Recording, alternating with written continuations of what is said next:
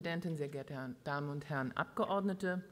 Ende 2017 hat das Bundesverfassungsgericht die gängige Praxis bei der Vergabe von Studienplätzen äh, für verfassungswidrig erklärt.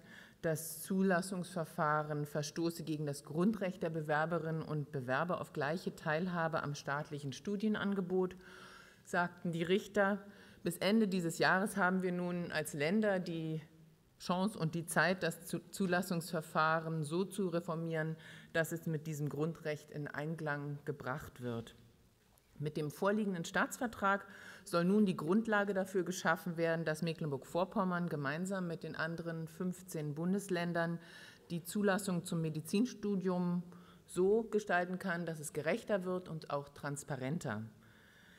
Die Kultusministerien sind dafür sogar weitergegangen, als uns das äh, Bundesverfassungsgericht vorgegeben haben.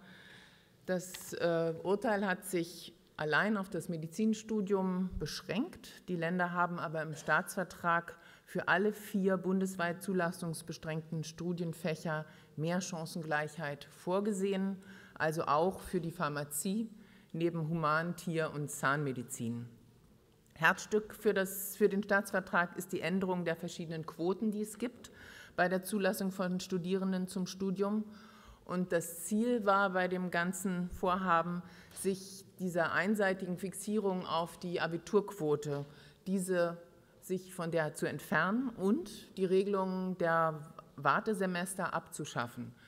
Äh, es gibt bis zu siebeneinhalb Jahren, es gibt Studierende, die bis zu siebeneinhalb Jahre warten, also Bewerberinnen, bis sie Wartesemester haben, um ins Studium einsteigen zu können. Das soll abgeschafft werden. Es soll aber eine Übergangsregelung für diejenigen, die schon Zeit angesammelt haben, soll es geben. Also die Studienplatzvergabe soll auf neun Quoten basieren. Die sind wie folgt. Wir werden 30 Prozent nach Abiturdurchschnitt äh, vergeben können, 60 Prozent nach einem universitären Auswahlverfahren und 10 Prozent nach einer zusätzlichen Eignungsquote, bei der das Abitur überhaupt gar keine Rolle spielt. Vielleicht kurz nur erläutern zur, äh, zu den Quoten. Die Abiturquote. Bislang gingen, etwa, äh, gingen 20 Prozent der Studienplätze an die Abiturbesten. Im neuen Verfahren sind es, wie ich gerade gesagt habe, 30 Prozent.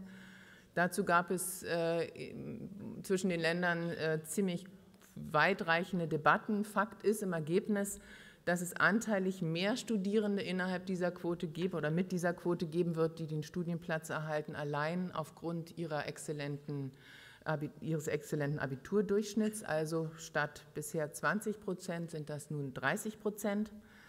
Alle anderen Quoten aber, nach denen der Rest der Studienplätze vergeben wird, also 70 Prozent der Studienplätze plus die Vorabquoten, die sind so konzipiert, dass sich die Chancen für diejenigen, die eben kein 1-0er-Abi haben, äh, erhöhen werden. Das ist zunächst das Eignungsverfahren, das ich genannt habe. Hier spielt die Abiturnote keine Rolle.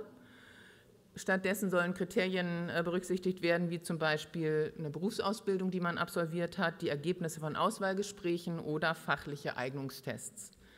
Diese Quote ist bei 10 Prozent.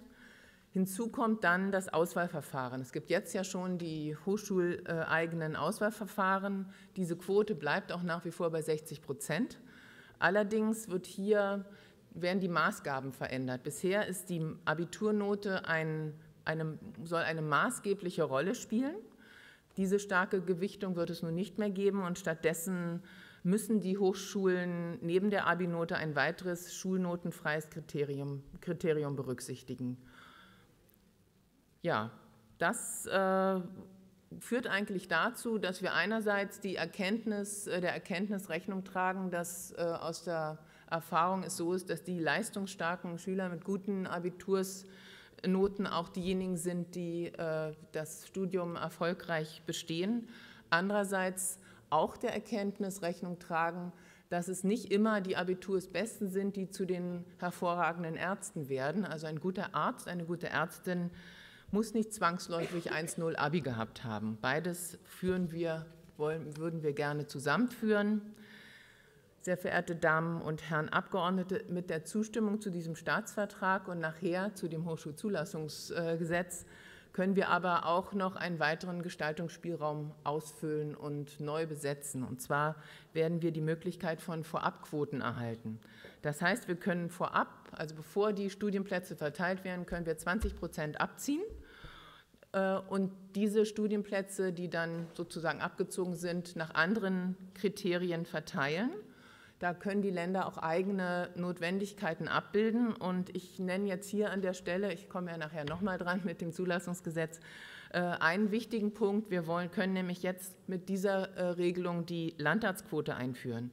Das heißt, wir wollen einen Teil der Studienplätze schon vorab abziehen, um dann Bewerberinnen und Bewerbern, äh, Bewerbern auf äh, Humanstudienplätze die Möglichkeit einräumen, wenn sie sagen, okay, ich gehe dann nach dem Studium, wenn ich das erfolgreich abgeschlossen habe, auf, in den ländlichen Raum und werde dort Arzt bei uns in MV, dass wir den Bewerbern dann auch vorab diesen Studienplatz ermöglichen können.